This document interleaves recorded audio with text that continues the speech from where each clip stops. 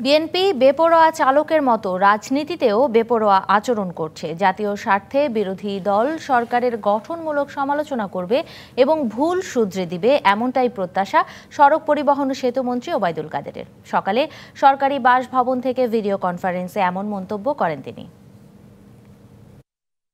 তারা প্রতিহিংসার আতঙ্কে আছে উঠছে আত্মদহনে।